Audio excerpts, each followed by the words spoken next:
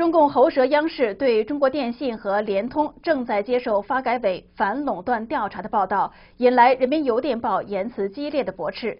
一场反垄断报道演变成了两大中共媒体的公开对阵。另一中共喉舌媒体新华社也因为发表文章批评北大教授孔庆东而惹祸上身。孔庆东炮轰新华社带头制作虚假新闻，要求新华社向全国人民道歉。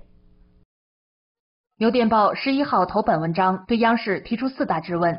邮电报问央视：基本概念厘清了吗？垄断事实查明了吗？全球行情吃准了吗？新闻素养丢掉了吗？十一月九号中午，央视新闻三十分节目爆出国家发改委正对中国电信和中国联通进行反垄断调查的报道后，两家电信龙头股票应声狂跌。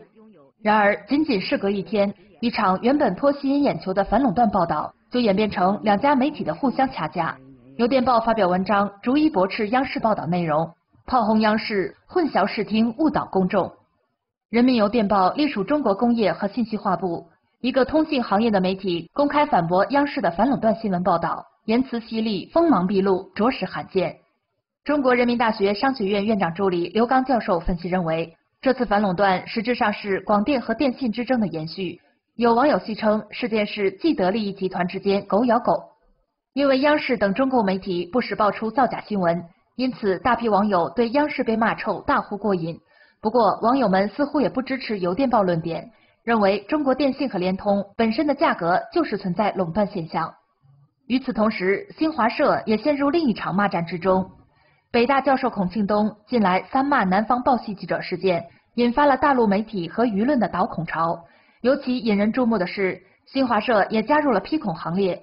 新华社批评孔庆东把辱骂记者的粗话当个性，敦促北大解聘孔庆东。原公安大学法律系讲师、资深法学专家赵远明认为，孔庆东骂人之所以有市场，是因为他深知有这样的土壤，相当一部分中国人在中共的统治下已经道德沦丧。中共邪党的利益为第一，只要对维护中共邪党统治有利。那么呢，你什么事都可以做，而且呢，他们是崇尚的是无神论，所以说呢，他不讲究来世，也不讲究呢个因果报应。作为孔庆东这些人呢，也就是说，呃，只要我高兴，我什么脏话都骂出来，我不管我是不是教授。孔庆东毫不示弱，反驳新华社的文章是公开对抗新闻出版总署和宪法。孔庆东指责新华社带头制作虚假新闻，多次撒谎造谣，顶风作案。必须向中国人民道歉。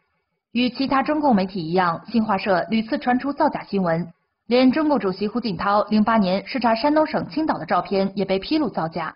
当时就有网友嘲讽：“连胡主席的照片都是假的，还有什么是真的？”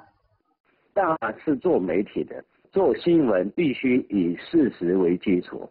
如果说是这样的一种体制导致他必须要进行体制性的撒谎，这个才是根本的问题，这个才是最值得注意的。人不管他是基于体制内还是体制外，他都应该遵循这样的一个规律，否则的话是经不起历史检验的。所以民智渐开呀，这个对于官方来说是一个蛮紧张的事情。文章：新华社无公信力，没资格给孔庆东当判官。质疑。新华社就有公信力吗？文章问：一个如此影响巨大的媒体，竟敢光天化日之下造谣，还配做媒体吗？